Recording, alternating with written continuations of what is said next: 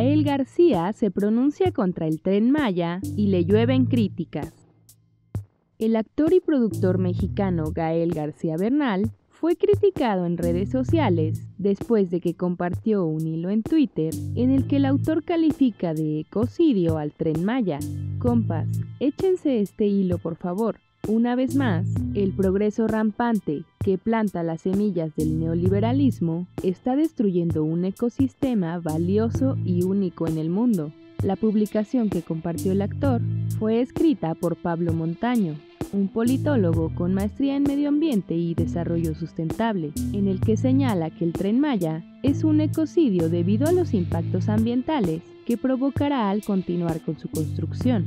A través de fotografías y videos, mostró cómo se ve una de las zonas por las que pasará la obra. De acuerdo con su explicación, el nuevo trazo que se encuentra a 16 kilómetros de Playa del Carmen está lleno de selva, por lo que talarán y deforestarán para introducir casas, plazas, casinos, estacionamientos y hoteles. Además, indicó que están construyendo arriba de un sistema de cuevas y ríos subterráneos. Esto amenaza la disponibilidad de agua, la contamina y destruye los cenotes.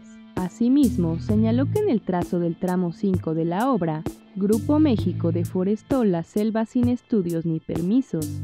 Recientemente, el presidente López Obrador señaló que el tren Maya ya no pasará por un tramo elevado en la carretera 307 de Playa del Carmen a Tulum, sino que irá por el interior de la zona selvática.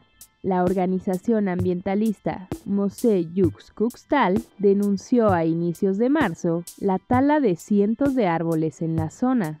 Pero ¿por qué no hay estudios ni permisos? En noviembre de 2021, el presidente de México, Andrés Manuel López Obrador, publicó un decreto por el cual declara de interés público y de seguridad nacional la realización de proyectos y obras a cargo del Gobierno de México, que por sus características, naturaleza, complejidad y magnitud se consideren prioritarios y o estratégicos para el desarrollo nacional.